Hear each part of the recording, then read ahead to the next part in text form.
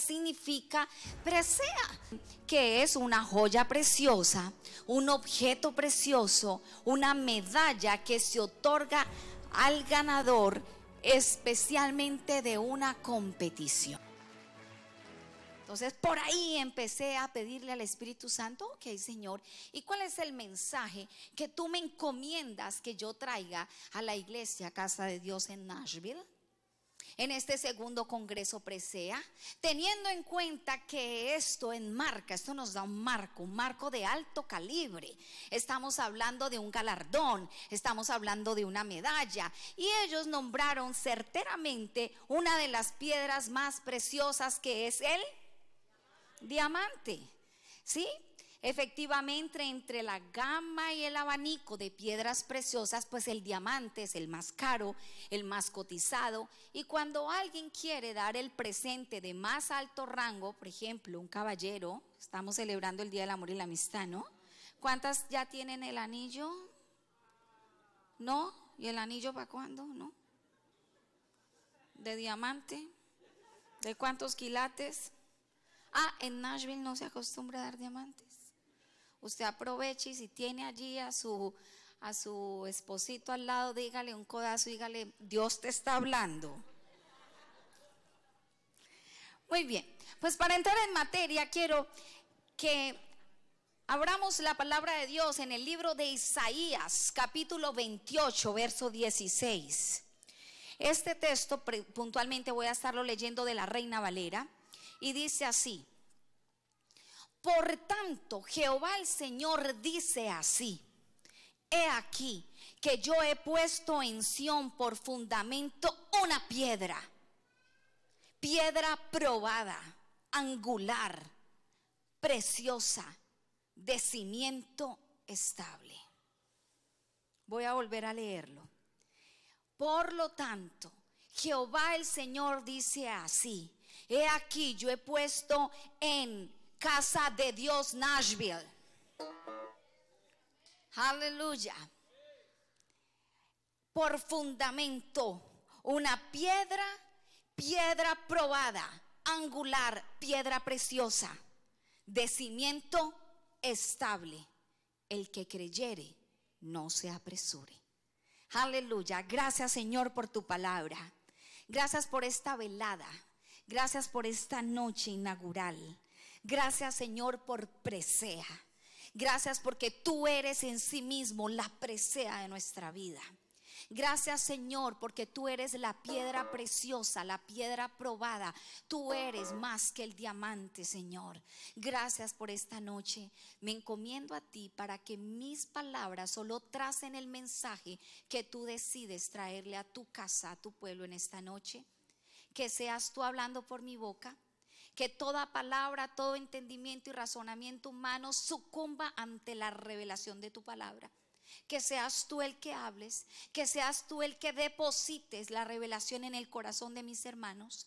Que a través de esta predicación y de esta linda jornada que empezamos hoy, tu palabra, tu frescura, traiga revelación fresca a la mente y al corazón de mis hermanos. En el nombre de Jesús. Amén. Amén. Dale un aplauso al Señor. Muy bien. Empecemos con mucho entusiasmo. Qué bueno que este Congreso está empezando el año, apóstoles. Porque esto nos reafina la visión. Esto nos determina el camino que empezamos. Estamos empezando un nuevo año. Y aunque en realidad la década no empieza este año, empieza el próximo año, cuando termina el bloque completo, pero casi siempre asumimos que al empezar un primer año, pues como el 2020 estamos empezando una década, así que si es tu forma de verlo, es válido también. Y la palabra de Dios siempre nos ofrece una historia relevante. La palabra de Dios es viva y eficaz y nos permite tener la frescura y la revelación aún de historias registradas en ella, aunque quizás ya la hayamos escuchado, hayamos visto eh, quizás perfiles muy profundos y muy reveladores, pero siempre Dios trae a través de su espíritu una revelación fresca.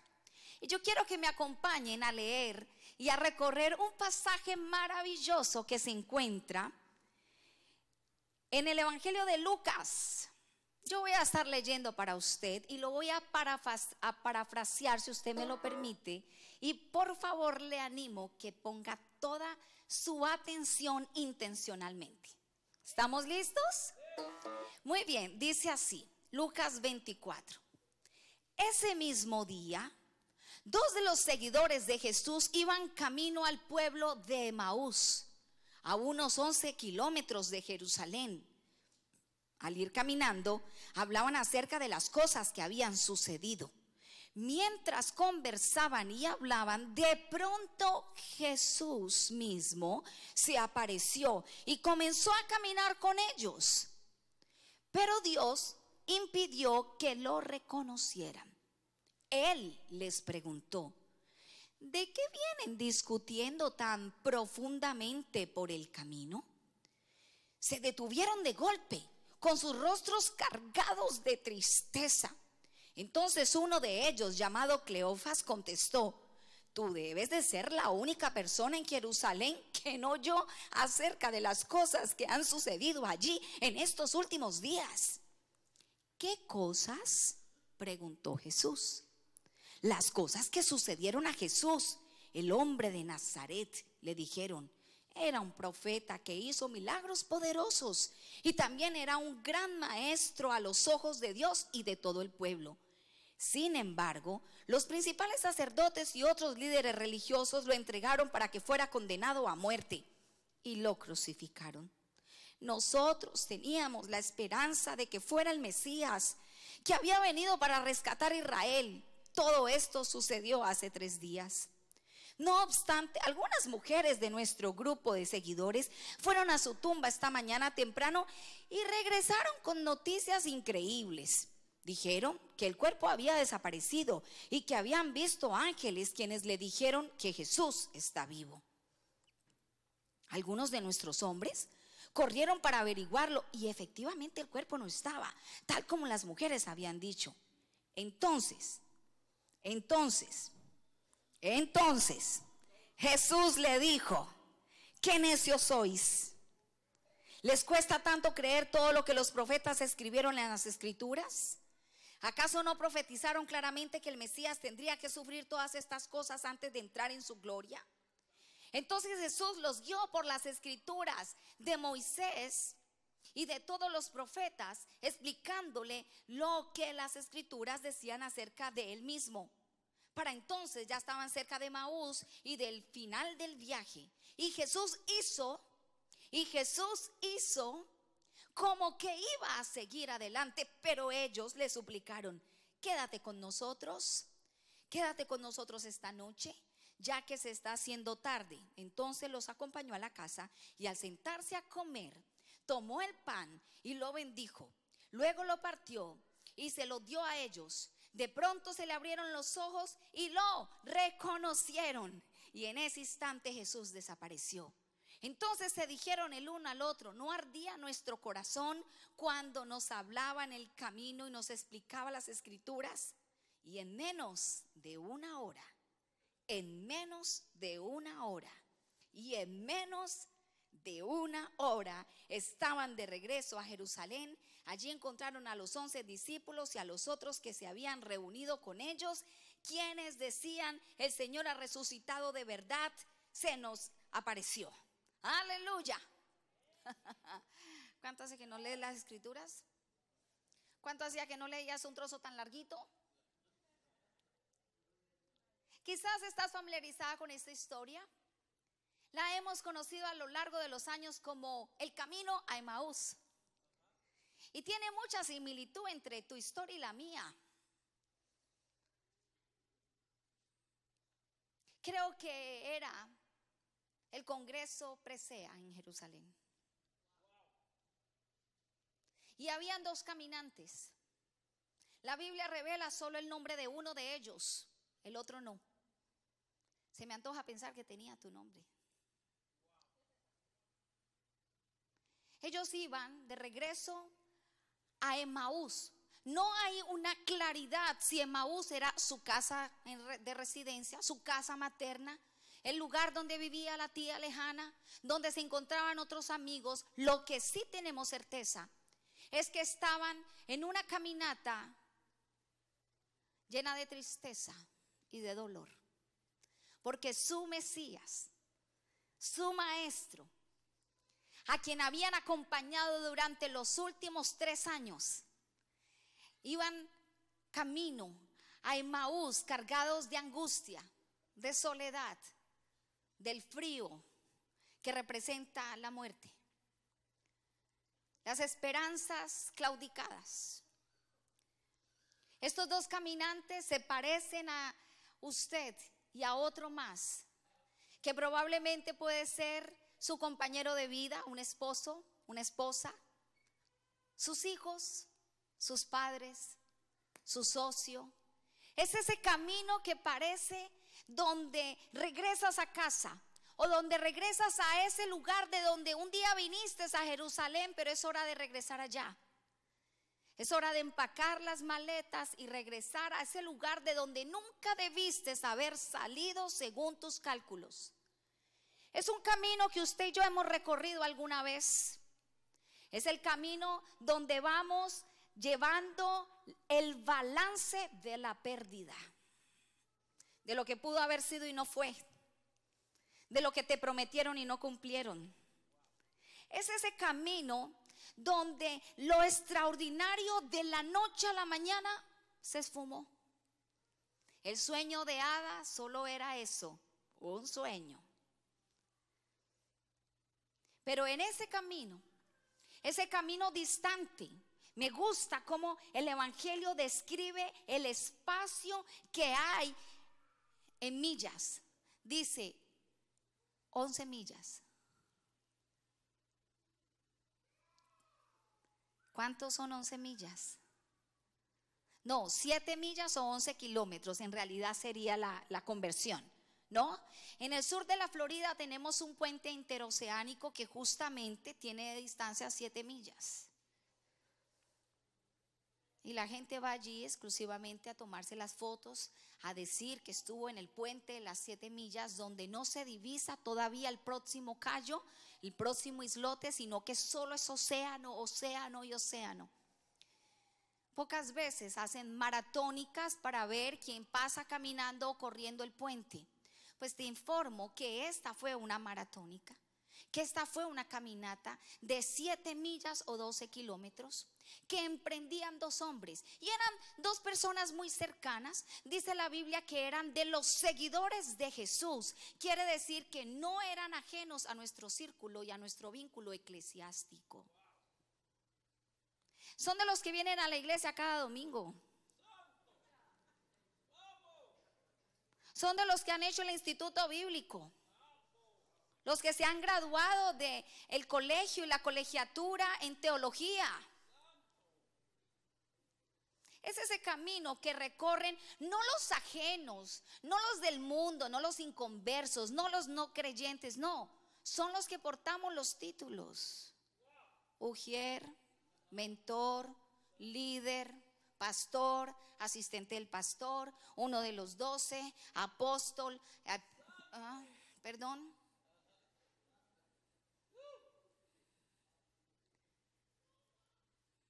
líder de jóvenes, chicas del, grupo de adoradoras de la danza, líder desde niños. Perdón, le estoy hablando a la iglesia correcta esta noche. Aleluya.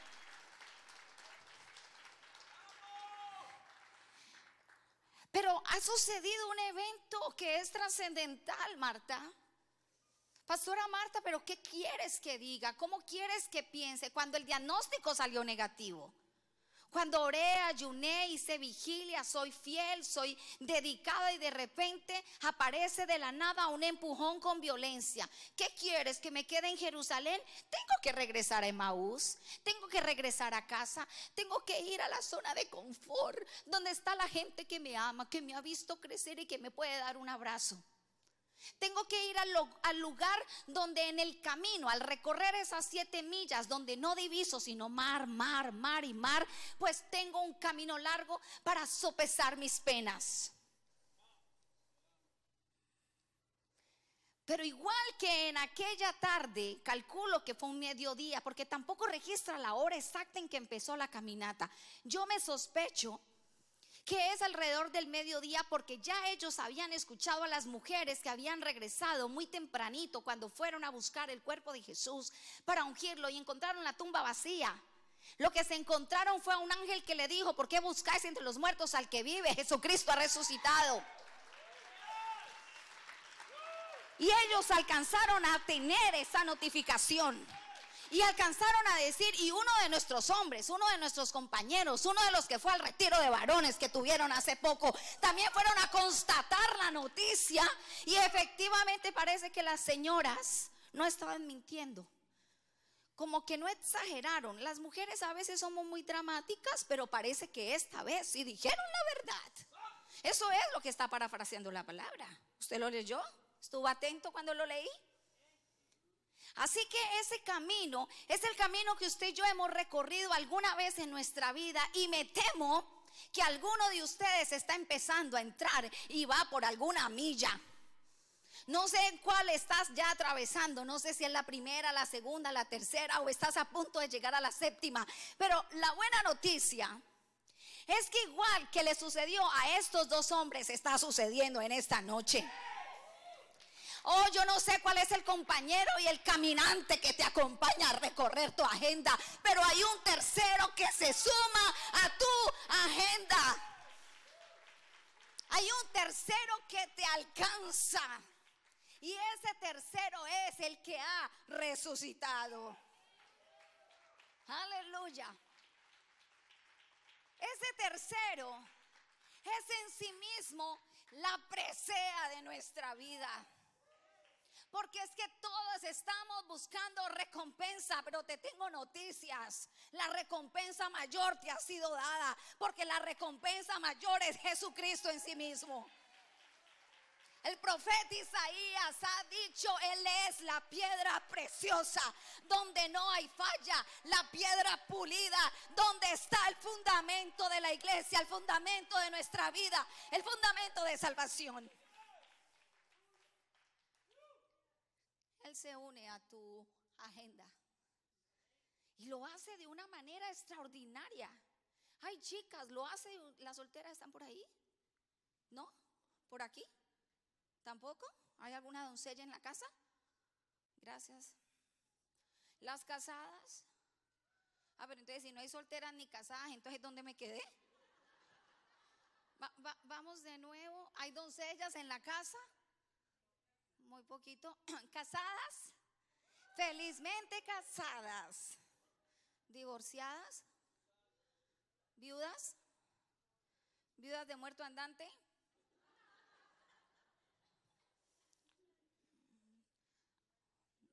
Después voy a tener que revisar la clasificación de las mujeres de, la casa.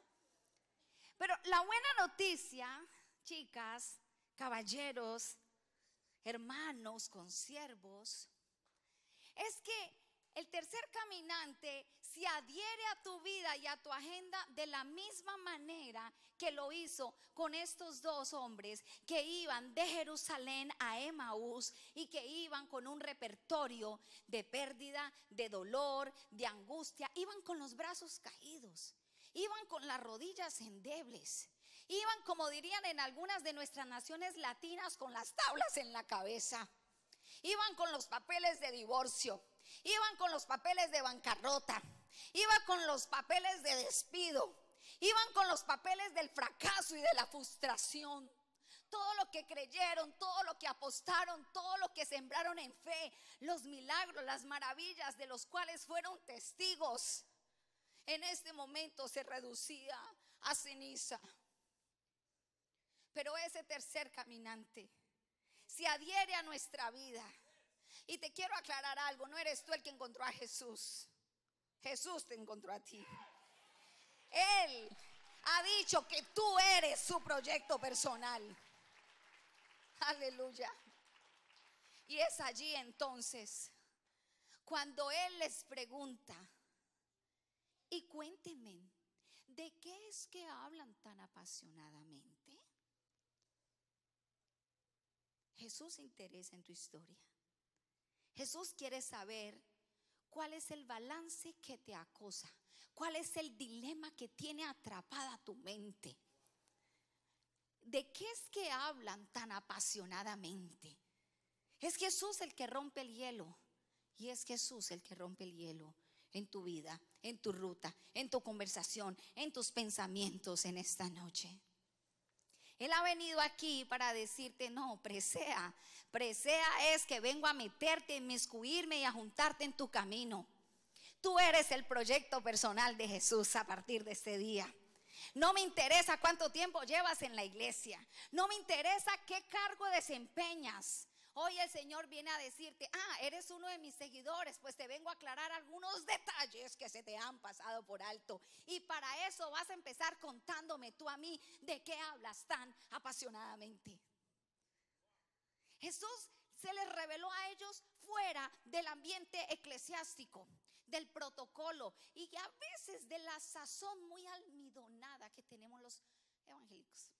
Amén, hermano, amén en victoria absoluta, total y aplastante. Digo, aquí en Nashville no pasa, pero en el sur de la Florida sí. Allá. ¿De qué hablas tan apasionadamente? Así que ve pensando cuál es tu respuesta, porque Cleofas tenía la respuesta en la punta de la lengua. Él tenía absoluta y total claridad lo que tenía angustia en su, lo que le provocaba angustia en su alma. Y se para de golpe, con un rostro visiblemente angustiado y preocupado, y le dice: Tú eres el único extranjero que no tienes idea de lo que ha pasado en los últimos días. Pero ¿no has revisado tus redes sociales? Ha ocupado los titulares. No se habla de otra cosa. Ah, pero ¿no has escuchado? Expresea. En nuestro congreso anual lo hemos publicado. Ha habido despliegue de publicidad. Tú eres el único que no sabes lo que ha pasado. claro que lo sabe. Lo sabe todo. He aquí que no hemos ni siquiera pronunciado una palabra por nuestra boca. He aquí que Él la conoce. Pero Él está interesado en que tú manifiestes qué es lo que te trae angustia y dolor. Él quiere romper el paradigma de la religiosidad y quiere decirte, contame qué te pasa. Uy, me salió lo colombiano. Contame qué te pasa. Cuéntame qué es lo que te angustia. ¿Qué es lo que te roba el sueño? ¿Qué es lo que no te deja avanzar? ¿Qué es lo que te está haciendo retroceder de Jerusalén y volver a Emaús? Déjame decirte que Emaús era una ciudad pequeña, geográficamente descendente de la región de Jerusalén. Era una región que estaba apartada y necesariamente no es muy importante porque no la menciona la Biblia más que en este episodio. Por decir, iban hacia un lugar llamado Emaús, pero no es relevante. ¿Hacia dónde tú te diriges? ¿Cuál es el Emaús de tu historia? ¿Cuál es el lugar? Que no es relevante, que una vez saliste de ahí, ya estabas en Jerusalén y hoy estás pensando que la mejor vía es regresar allá. Es dar la espalda. Es decir, lo intenté, que quede constancia que di la talla. No, no diste la talla. No diste la talla. Porque el que tiene la revelación de un Cristo resucitado jamás claudica. Jamás claudica. El que cree las escrituras aunque en el momento no tenga una respuesta contundente del por qué o el para qué estás viviendo un proceso, puedes creer que a los que aman a Jehová, todas las cosas ayudan para bien y esto es conforme a los que son llamados de acuerdo a su propósito. Aleluya. Así que ellos siguen convencidos de tener un argumento que suena convincente al oído humano. Ah, tú no sabes. Si estuviéramos en el sur de la Florida, apóstol Vilma le dirían, oye mi hijo, ¿en qué mundo tú vives?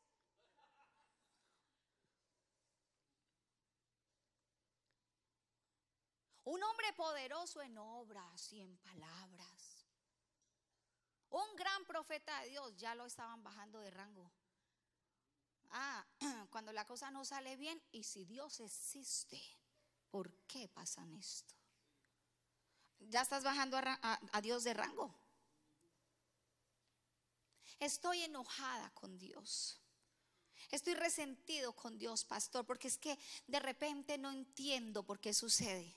No, Dios sigue siendo Dios. Y su soberanía sigue gobernando. Y seguirá siendo Dios con o sin ti. Pero tú y yo no somos nada sin Él. Hmm. Apláudale bien si le va a aplaudir. Désele alabanza a Él. Aleluya. Así que seguimos parafraseando esta historia maravillosa, tan actual, que se adapta a nuestra vida de hoy para nosotros. Por eso es viva y eficaz su palabra. Entonces Jesús lo sigue escuchando y van caminando y se les pega el ritmo. Yo le pregunté a algunos amigos que son muy fitness y le dije, ven acá, ¿tú alguna vez has corrido o has... No, no, no iban corriendo, iban caminando, iban caminando. ¿Cuánto se demoran en caminar? Siete millas o 12 kilómetros. Y me dijeron, bueno, ellos pensaban que yo les estaba preguntando porque me iba a inscribir a una maratón. No, y me dijeron, no te preocupes, yo te preparo físicamente. Y le dije, no, es que estoy preparando un sermón. Me gusta dar datos aproximados exactos, ¿no? Realísticos, para entrar en un contexto real. Me dijo, eso depende del ritmo y del largo del paso y del ritmo. Pero en promedio de 3 a 4 horas es el promedio que una persona en buen estado físico puede demorar en recorrer esa cantidad. No estamos hablando de correr, caminando. Pero cuando veo la dinámica que Jesús adoptó con ellos, pues resulta ser que yo calculo que eso tomó un poco más de tres o cuatro horas porque él empezó a tener un seminario presencial como nunca antes en la historia.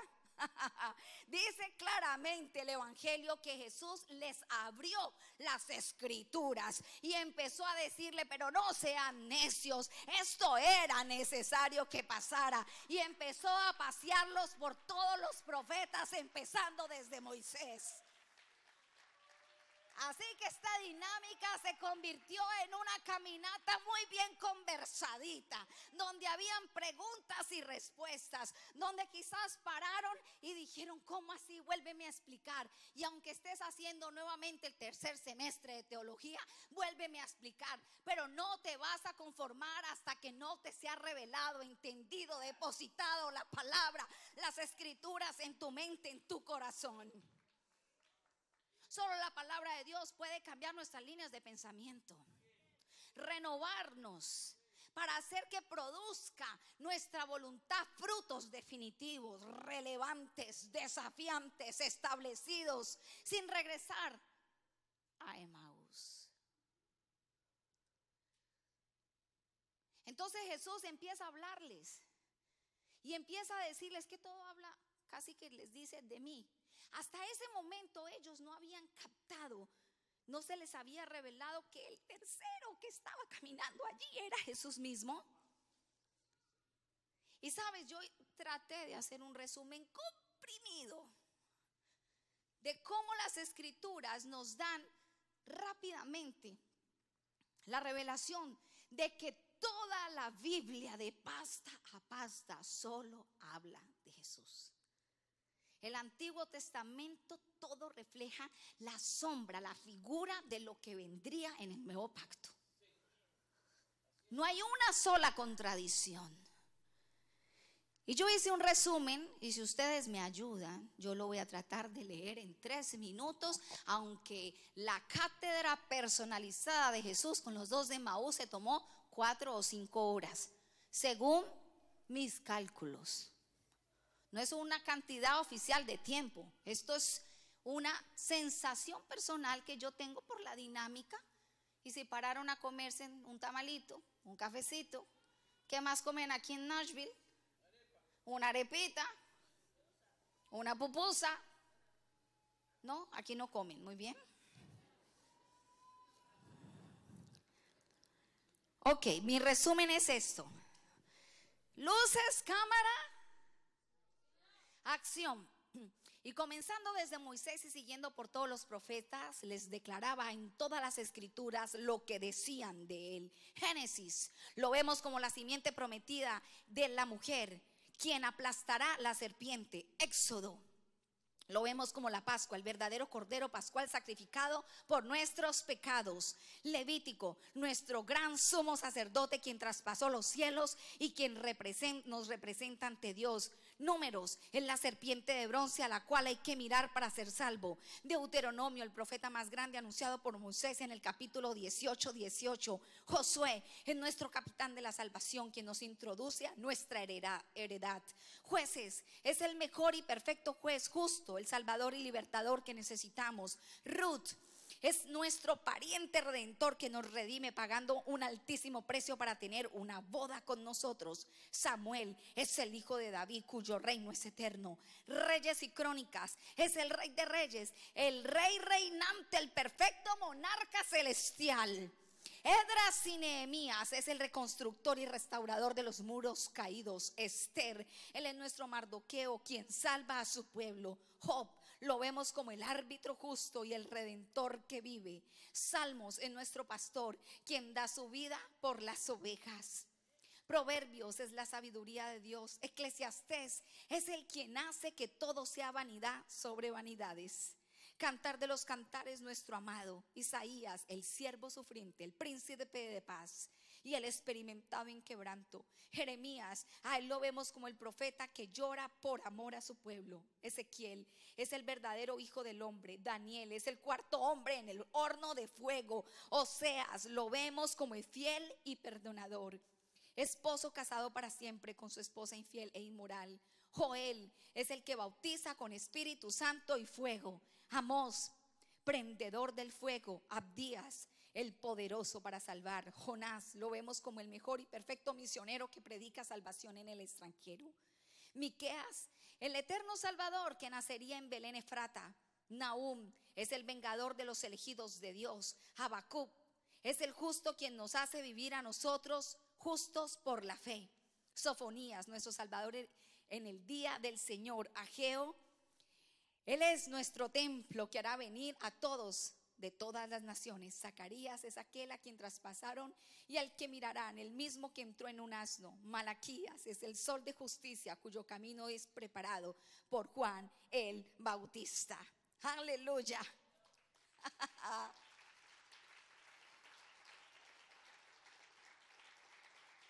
¿Cuánto le enseñó Jesús a estos dos hombres durante varias horas de camino a Emaús mientras recorrían siete millas?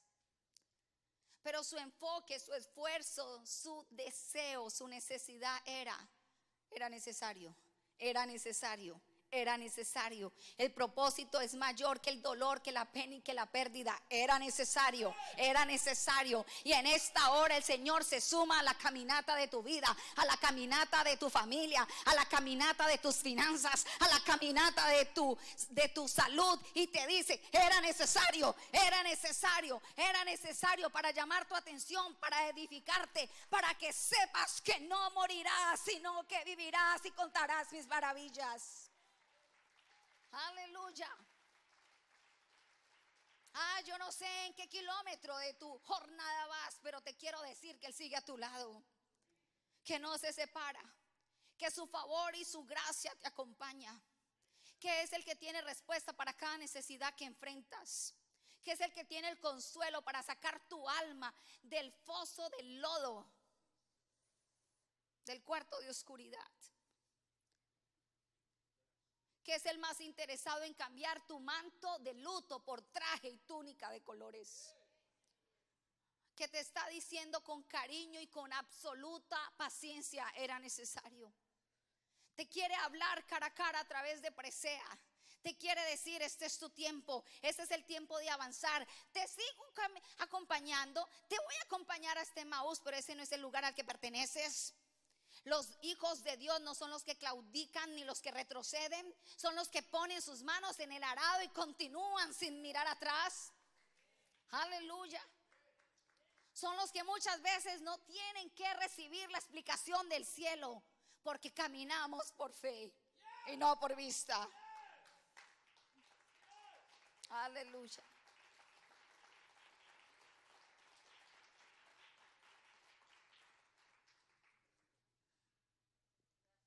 Especial Jesús. Me impresiona, me impresiona, me conmueve, porque así lo he visto actuar conmigo. Cuando dice, y hizo como si fuera a seguir adelante. Pero eso significa que su intención no era esa. Pero ¿sabes qué está implícito allí? Que él no se iba a quedar con ellos a menos que ellos lo invitaran. Yo creo que tú no entendiste eso. Ellos iban caminando con un perfecto extraño, pero un extraño que les dio un seminario presencial de todas las escrituras, que les aclaró todas sus dudas teológicas, que oró y rompió maldiciones, hizo liberación, les dio seminario y fue gratis. Sin embargo, no se iba a entrar a su casa a menos que ellos mismos voluntariamente en su libre albedrío lo invitaran. Aleluya. Y yo no sé cuánto tiempo el Señor lleva caminando contigo, pero tú todavía no le haces una invitación consciente, intencional, radical. Sí, pero vienes a la iglesia, sí, ellos eran seguidores de Jesús.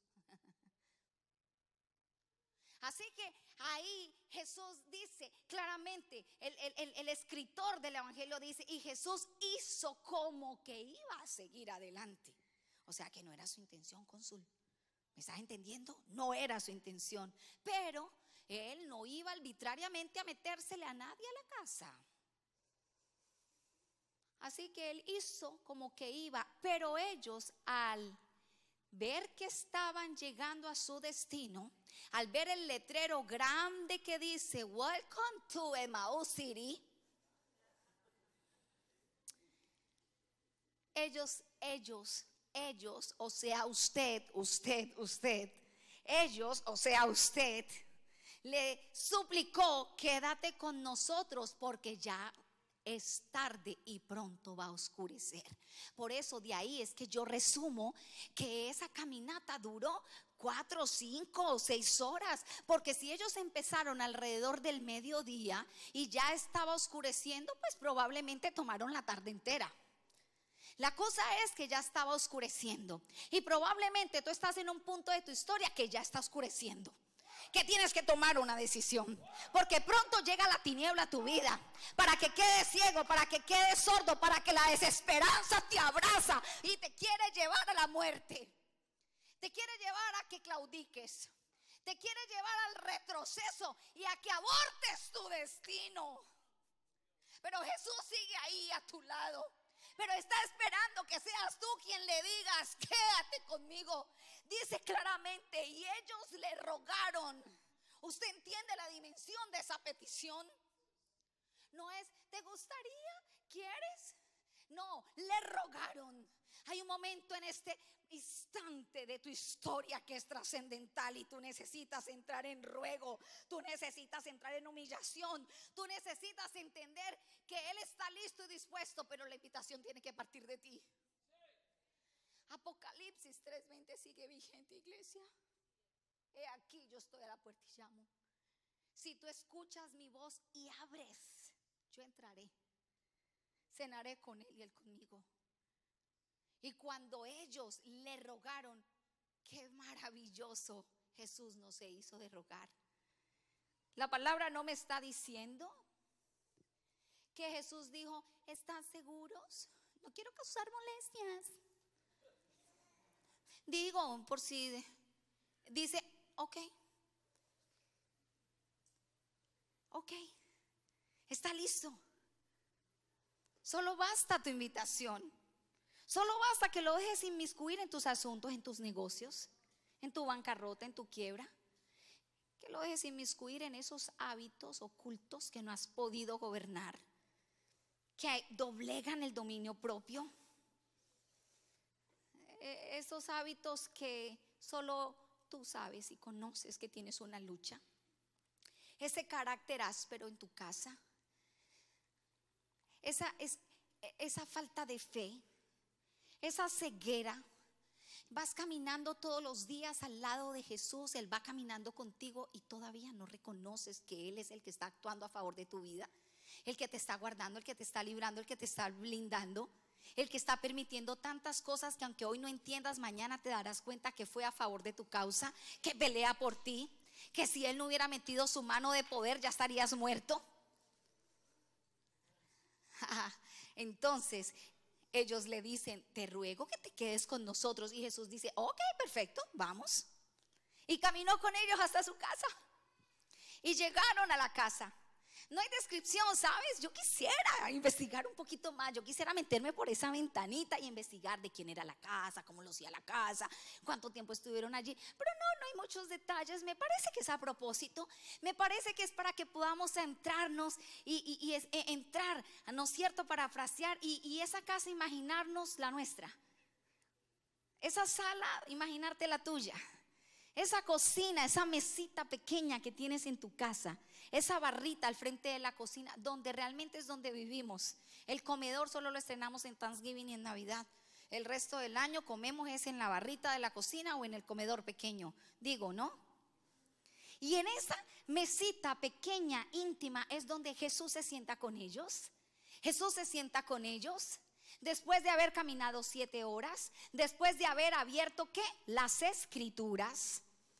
Y ahí sucede otro nivel. Ya entró el, primer nivel de, de, escrituras, de palabra, de entendimiento, de revelación, pero todavía no es suficiente. Hay algo más que hace falta. Entonces Jesús entra a la casa con ellos y entra a un nivel de comunión. Porque sentarte a la mesa a comer con alguien es intimidad. ¿Con quién tú inviertes tiempo comiendo, hablando, tomándote ese cafecito especial? Eso es intimidad. Tú no te sientas en un restaurante con un extraño, al menos que sea el restaurante, no sé cuál, la casona. De, resto, tú vas a comer con tu gente, a quien tú quieres atender. Quieres hablar de un tema específico.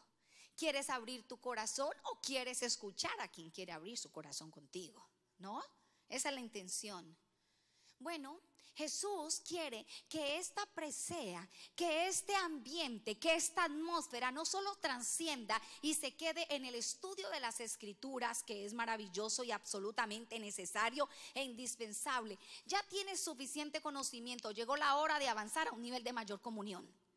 Llegó la hora de entrar a un nivel de más intimidad. Llegó la hora no solamente de decir los textos de memoria y tener los cuadros pegados por toda tu casa de las escrituras. Llegó la hora es de tener una comunión donde te sientes en la intimidad de tu vida. Hablar con Jesús. El que finalmente ha estado a tu pie siete horas caminando, siete días, siete semanas, siete años, siete temporadas. Aleluya. Aleluya.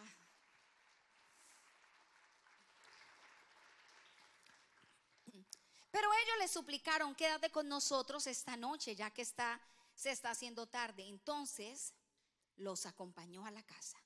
Al sentarse a comer, tomó el pan y lo bendijo. Luego lo partió y se lo dio a ellos. ¿Quién le dio el pan? Él. ¿A quién se lo dio? Diga, a mí. ¿A quién te se lo está dando? A mí. Yo soy el que estoy recibiendo de ese pan. Jesús dijo, yo soy el pan de vida. El que viene a mí no le echo fuera. Aleluya. Entonces, dice, y en ese instante, y en ese, dígalo, y en ese, en ese Dígalo convencido, iglesia. En ese instante, es ese momento, es ese breakthrough, es ese rompimiento, es ese instante parteaguas, es en ese instante sus ojos le fueron abiertos y le reconocieron. ¡Wow! En ese instante es un instante que transciende de lo académico, de las escrituras, de lo académico. Ellos conocían a Jesús.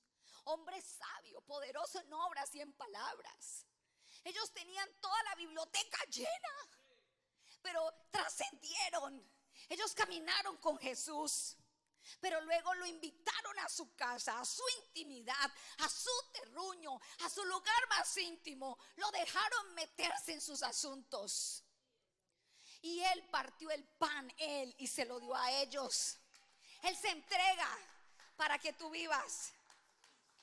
Él vino a tomar lo que te robaron. He venido a deshacer las obras del diablo, dijo Jesús. Y en ese instante se abrieron sus ojos y le reconocieron. Ese instante significa que ahí Presea se reveló. La piedra preciosa, la piedra angular, el premio del sumo y perfecto llamamiento se hizo visión ante sus ojos.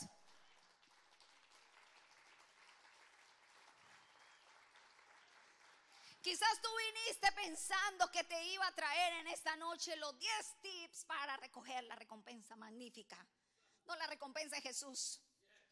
Lo tienes en tu vida, lo tienes caminando a tu lado, pero falta que lo invites a tu casa. Que te hagas una, uno, íntimo con Él. Y entonces Él se encargará de abrirte los ojos. Escucha, no eran dos ciegos los que iban caminando camino de Maús. No dice la historia, iban por el camino dos cieguitos con bastón y llevaban perros guiándolos. No, eran dos hombres. Ellos no eran ciegos. Entonces, ¿de qué vista está hablando? Visión, revelación, entendimiento, convicciones, líneas de pensamiento ajustadas. Aleluya. ah, y cuando ellos lo reconocieron, él se desapareció de sus ojos. ¿Sabes por qué? Porque ya no necesitaban más una evidencia física, ya ahora tenían la revelación del Cristo resucitado. Aleluya. Ya tenían la revelación de un Jesucristo resucitado que vive para siempre. Cielo y tierra pasará, pero su palabra no pasará. Aleluya. Y el broche de oro a mí me, me, me, pone en un entusiasmo maravilloso, iglesia, y pretendo de parte de Dios contagiarte de Él.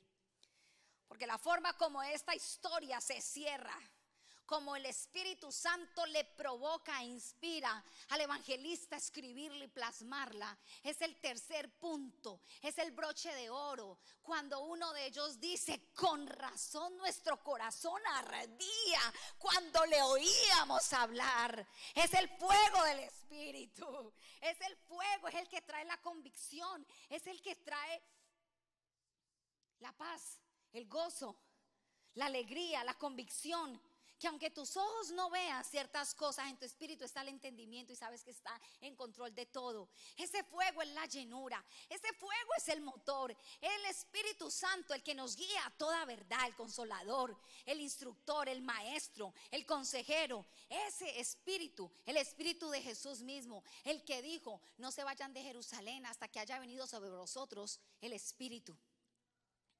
Y dice que estaban todos reunidos en el aposento alto y, como lenguas de fuego se hizo manifiesto el Espíritu sobre ellos. Y entonces tuvieron poder, tuvieron de nuevo. Y lo que no se atrevieron nunca, nunca, nunca, nunca a hacer, ahí explotaron. Ahí porque entonces Presea, Presea se convirtió en una atmósfera. Presea se convirtió en un mode en sus vidas. Presea se convirtió en el chip en su espíritu que los llevó a avanzar. Esta parte te va a gustar. Si no estuviste muy convencido, esta parte te va a renovar la mente. Y cuando ellos entendieron que acababan de tener la experiencia más extraordinaria de sus vidas, VIP, solo para dos. ¿Sabes qué sucedió? Dice que regresaron a Jerusalén, dígalo conmigo, en menos de una hora. Aleluya. En menos de una hora. Lo que se demoró en tu vida siete años, siete meses, siete semanas en Dios, en menos de una hora lo vas a conquistar. En menos de una hora regresarás a casa. En menos de una hora estarás entrando en la conquista, en el liderazgo, en la restauración, en la restitución, en la sanidad, en la liberación. En menos de una hora. Porque en Cristo Jesús los tiempos se acortan. Él acelera los tiempos. Aleluya. Oh, aleluya. Gracias Señor. Maravilloso eres. Presea. Él es presea. No puedo cerrar de otra manera que animarte y pedirte. Si tú eres uno de los caminantes de Maús, yo he estado en ese camino alguna vez. Si tú eres uno de los caminantes de Maús, seguidores de Jesús, pero ciego, corto de visión, corto de entendimiento. Esta es la noche. Esta es la noche para que hoy reconozcas quien camina a tu lado. Y si es así, te pido que me des el honor, el privilegio de orar por ti. Puedes levantar tu mano ahí donde estás. Si hay alguien que reconoce que el Señor ha venido a hablarle en esta noche, y que nos vamos de este lugar con esta palabra depositada en nuestro espíritu, pero con un paso más de obediencia. Aleluya. Que aunque estamos en la iglesia necesitamos reconciliarnos con el Creador. Aleluya. Gracias. Los que pusieron su mano en alto se pueden poner de pie ahí donde están. Aleluya. Gracias Jesús.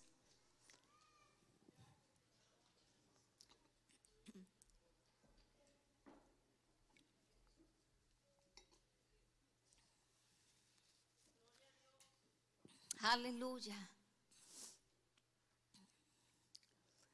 Regresaron a Jerusalén en menos de una hora. Y se unieron al grupo que había tenido la experiencia de ver, de escuchar el testimonio de las mujeres, los otros hombres que habían ido a constatar. Ahora estos dos caminantes que de repente iban desesperanzados, tristes, en pérdida, regresaron a Jerusalén con su parte de la historia. Dios necesita tu historia para que se sume a la historia de otros en el cuerpo de Cristo. Dios quiere transformar en esta noche, a partir de hoy, a partir de esta temporada en tu vida, esa historia que te ha costado dolor y lágrimas, para que ahora sea una historia que se sume para glorificar el nombre de Cristo. Aleluya. Gracias Jesús. Los que levantaron su mano. Los que dijeron, sí, me quiero reconciliar con Jesús. He caminado siete millas. Tengo el conocimiento, tengo la palabra, tengo el título, pero reconozco que he desconocido a Jesús. Vamos a orar. Vamos a orar y vamos a reconciliarnos con ese Jesús maravilloso que es la piedra preciosa, la piedra angular. ¿Estamos listos, iglesia? Gracias Jesús. Oremos juntos. Gracias Jesús por esta hora donde te sumas a mi ruta, donde me acompañas en el camino, donde me haces entender era necesario. Y que nada se perderá en tu reino. Ni las temporadas difíciles, ni las pérdidas, ni los duelos, ni aquellas cosas que no salieron como estaban planeadas. No se perderán Gracias Jesús porque tú estás listo para acompañarte en toda mi ruta. Ayúdame, ayúdame a entender que mi lugar no es Emaús, mi lugar es de regreso a Jerusalén. Mi lugar es el regreso a la casa de paz que es Jerusalén. Mi regreso es la Jerusalén espiritual. Tú eres Jerusalén. Tú eres el pan de vida. Tú dejaste tu espíritu. Aleluya. Te pido que ores allí donde estás dos minutos con tus propias palabras antes de terminar y entregar este tiempo. Y dile al Señor con tus palabras, sí Señor, es conmigo que has hablado. Es conmigo que hablaste. Sí Señor, yo soy el segundo caminante. Al que la palabra se guardó su nombre. Ahí estoy yo. Ese es mi nombre, esa es mi historia. Gracias por alcanzarme. Gracias por alcanzarme. Gracias por alcanzarme. Gracias por alcanzarme. Gracias, gracias, gracias, Señor. Aleluya.